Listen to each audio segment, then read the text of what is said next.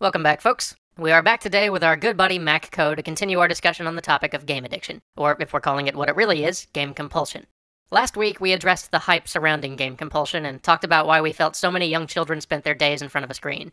Today, we'll be looking at the problem most often associated with game addiction adolescents and adults who withdraw from real life in favor of a virtual world. I'm going to tell you right now, this episode's going to be a bit unusual. We've been trying to figure out how to handle it for weeks. James has written and rewritten the script probably a dozen times. I think I've seen maybe 15 different intro paragraphs and 18 different closing statements for this episode since we started. I understand there's also a badly singed book of notes sitting in his apartment somewhere. Every time he's written it, it's just never come out right. But I think we have it figured out now. You see, that whole time we were trying to maintain objectivity on the issue and cover the topic in our usual academic, clinical way. But we've come to realize that may not be the best way to go this time. For James in particular, this topic is a little too close to home, and we decided it's better to just be honest, biases and all. So we're going to do something very different today. Because this topic has much more personal significance for James, I think it's better if he'd be the one to talk about it. So, yeah, take it away, man. Hey everyone. Dan's probably already told you this, but this has probably been the hardest episode for me to write, and I, I couldn't do it. Um, so this is what I got. It's my experience. My experience with game compulsion and where I'm at now. I had this revelation today. Um, because today I talked to the first girl I ever loved. Uh, she'd come back after a decade. Last time I saw her, we were teenagers. Uh, now she's a doctor. I lots of good memories. I remember kissing her on the hood of my RX-7 before fleeing the city myself for uh, for eight years. But here we were, reminiscing over coffee about past that seemed a beautiful lifetime away. Um, and we were adults. I watched her laugh with an ease she had never had when we were young. She'd grown and I'd grown, and uh, in that moment I realized how much better life had become, how far from the awkward child I had been when she first knew me that I'd come.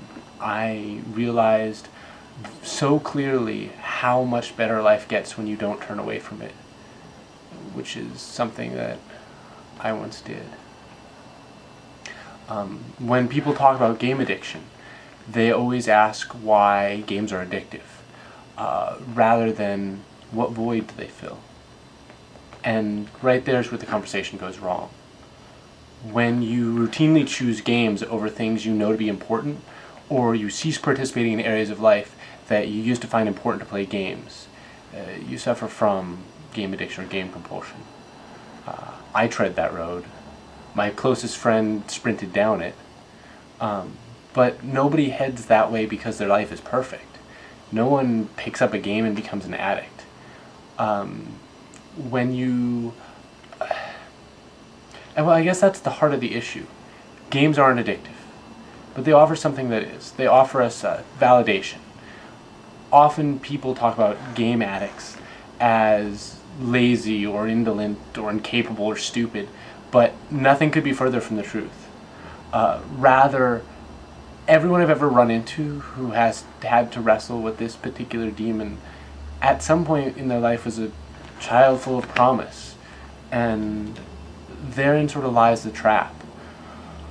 I've watched smart, capable people submerge their lives behind the safe unreality of games when the real world uh, tells them that all the things they considered good about themselves aren't worthwhile. When, with all their intellect, their ability to reason, their willingness to doggedly pursue a goal, they still get dumped or lose their job or get served notice for divorce. At that point, they turn to games because games agree with them that those traits are important, that uh, they reward them. Games reward people for exactly those skills. And unfortunately, here, at least in the US, high school and college is a time where the world shows us just how little it can care about some of those things that we're most proud of, some of the things that we find best about ourselves. Um, for me, it was high school. I had a lot of things going for me at the time. Um, I found my little misfit tribe in the theater group. Later, I, I had my guitar. Lots of things outside of games I could reinforce my sense of self. Yet I still walk that road. It started with um, started with Ultima Online. I remember the first time I ever taped down keys to make my character run into a wall and play an instrument uh, to gain skill while I slept. I felt mm, clever. I went out into the world of Britannia and it was more exciting than my world. I let me tinker, let me explore. Excited my curiosity in a way that my classroom work just never did. Um, I had played MUDs on my dial-up, so this seemed no different. Uh, but it was the first time I routinely lost sleep for a game. It was the first time I found my days possessed by thoughts of an electronic world. During classes, I imagined new character builds. When I should have been doing homework, I would daydream about that night's run. I told myself it didn't matter. My grade slipped, but I was still passing everything by a wide margin. I still saw friends. I considered it just uh, good fun. Um, next, it was StarCraft.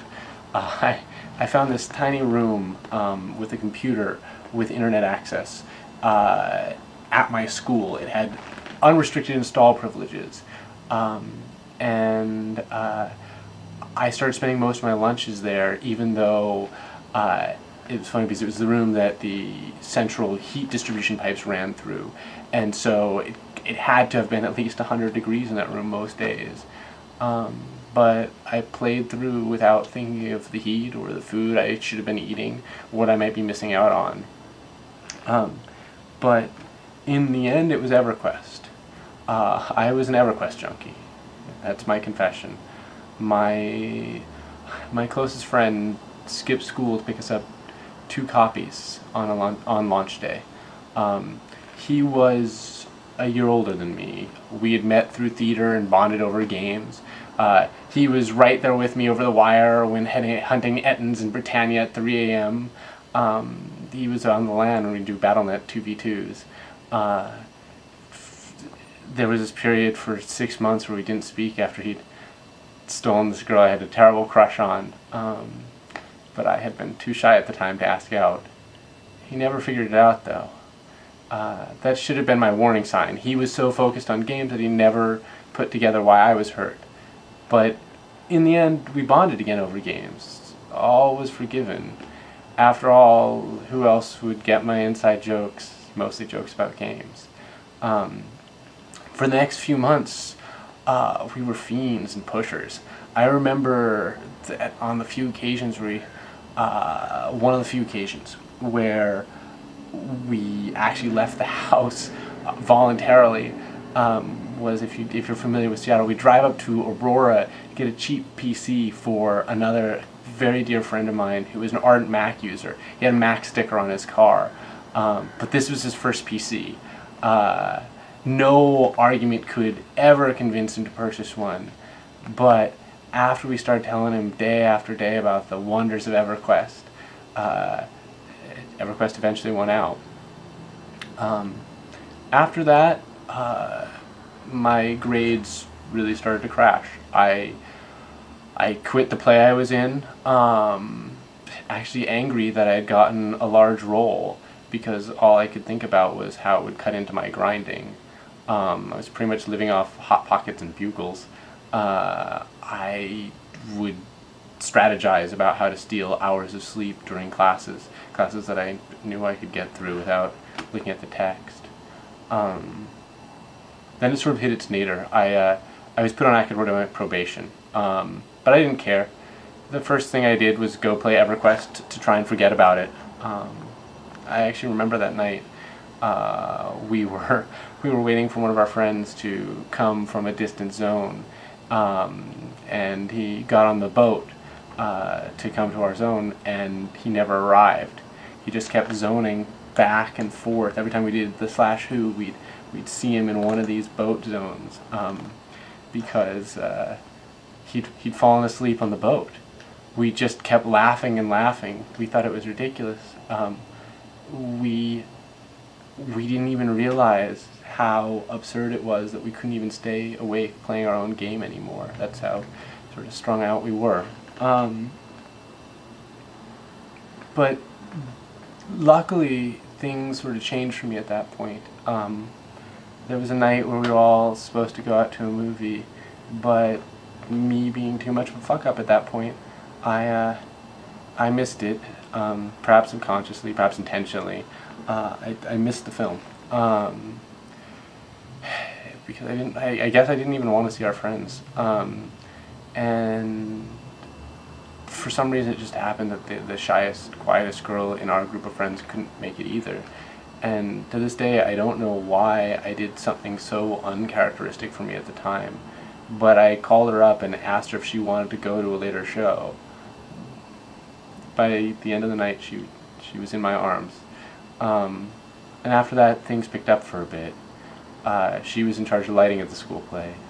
She got me to sign back up for the play as a stagehand. Um, we talked about colleges and she showed me all the pamphlets she'd gotten. Um, they sent her a lot. She got a perfect score on the SATs. Um, and I started getting out more uh, and uh,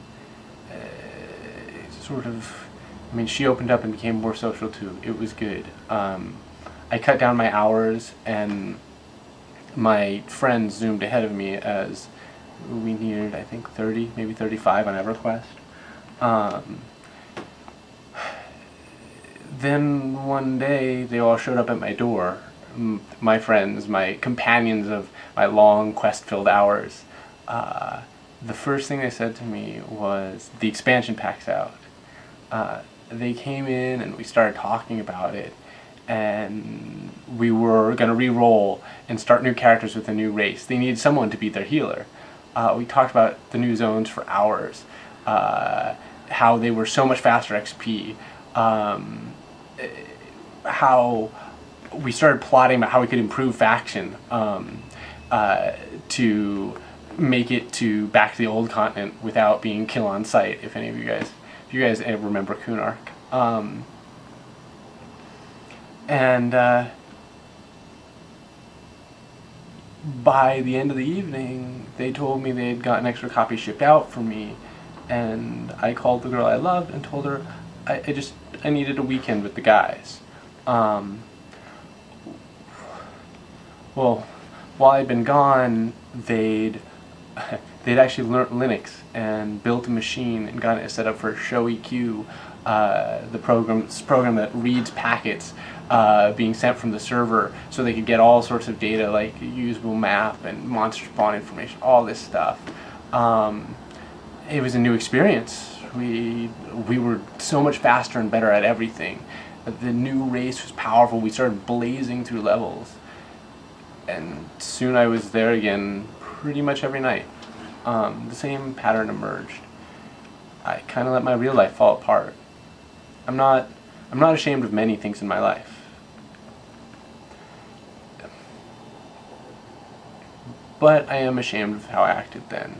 Um, I let a lot of people I cared about down. I missed a lot of eh, important moments. One day, my best friend's girlfriend came to me in the hall and dragged me aside. She told me that the night before she had been begging for him to come to bed, and instead he sat there looking at pictures of the new zones. Um, by the time she was done crying against my chest and telling me how humiliating it was to not be able to compete with a video game, um, how she hated these things and the way she felt. Uh, I, I mean, I went, I went to comfort her because, I mean, the funny thing is, this is, this is the girl that I would have killed for. This is the girl who, uh, previously, before, before meeting when I did, um, she was the one who I stopped talking to my closest friend for six months over and yet as soon as she was done crying on my shoulder I told her I talked to him but I went back and told him exactly what she said and then I helped plot with him how he could smooth things over uh, while losing as little time at EQ as possible.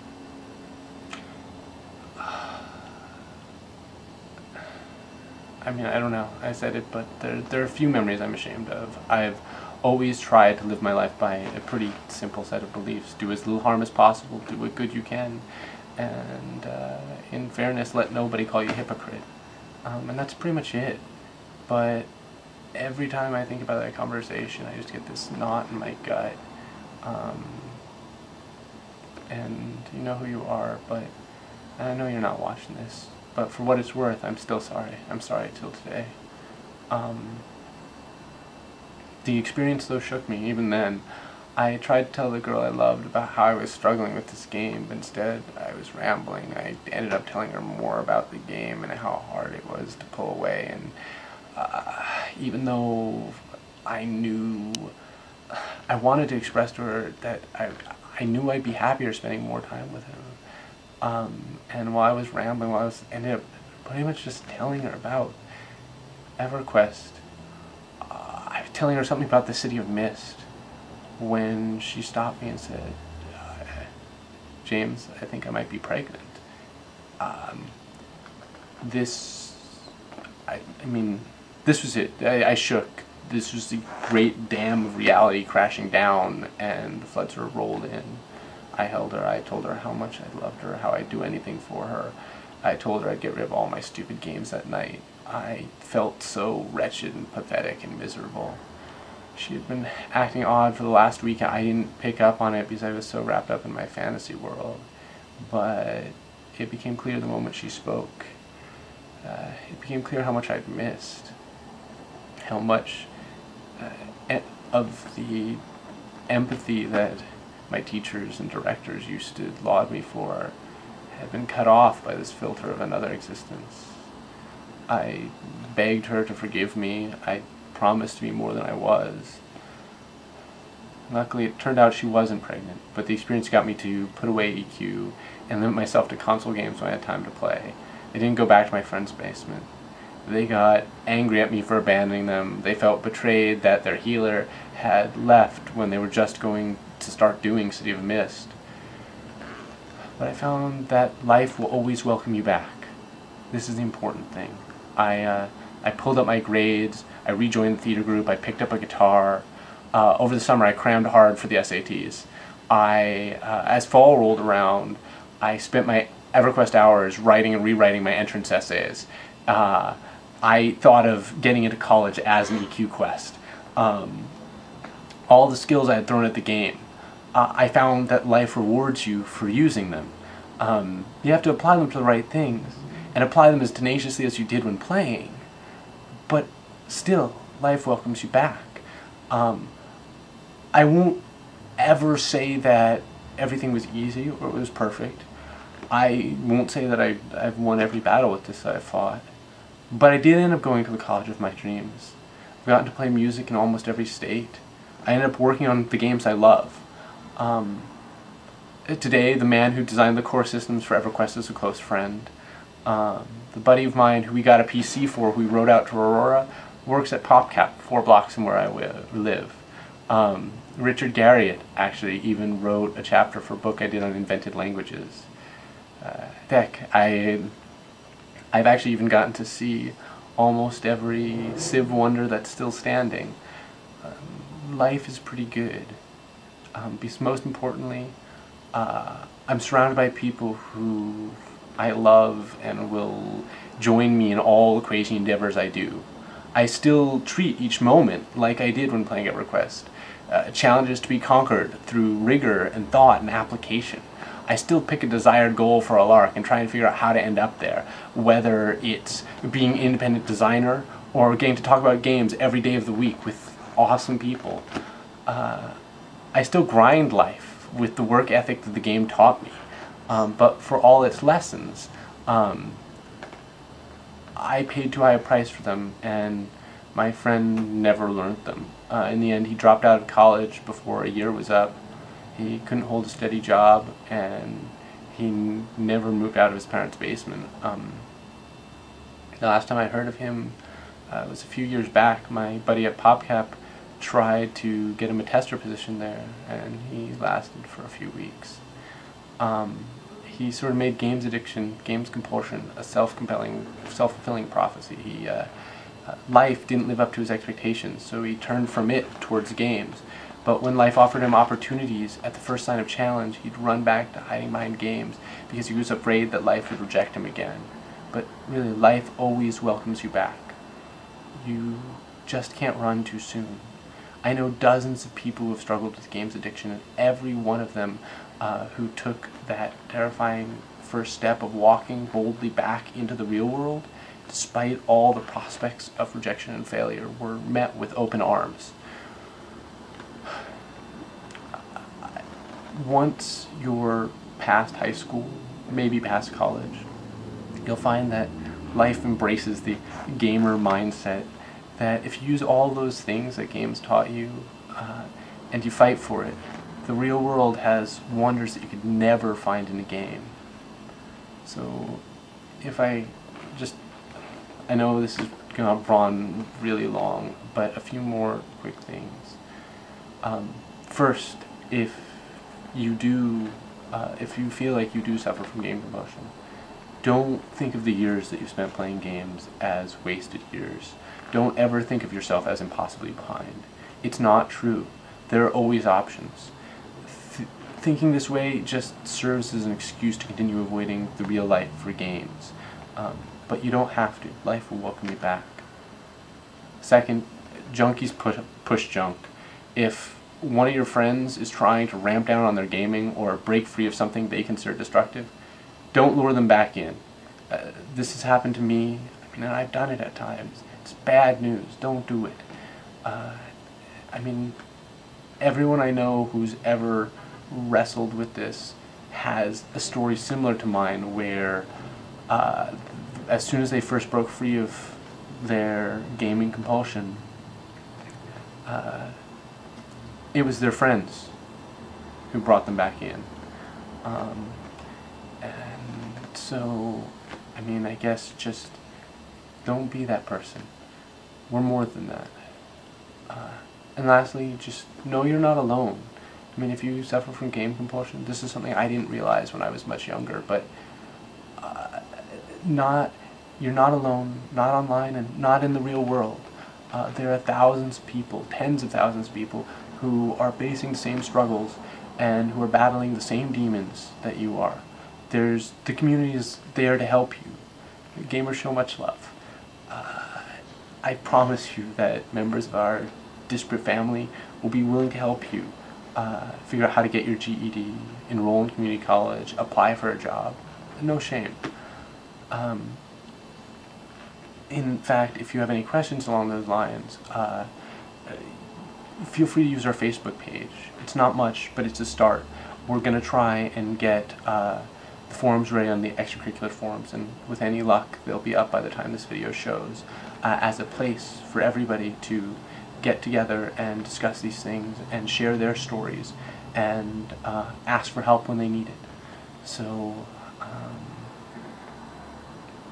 I don't know. I'm sorry that I couldn't write the more clinical episode about games addiction, games compulsion that I set out to write. But this is what I've got. This was me, plain truth. So I hope it can do somebody some good because I don't know if if one person takes a step towards life they want because of all the blood that went into this, it's a bargain. Um, and you know what? I still play games. I, you can say I mean I do it for a living. I don't have time to play them like I used to, but life's better for that. So good luck all of you. And I hope we can help.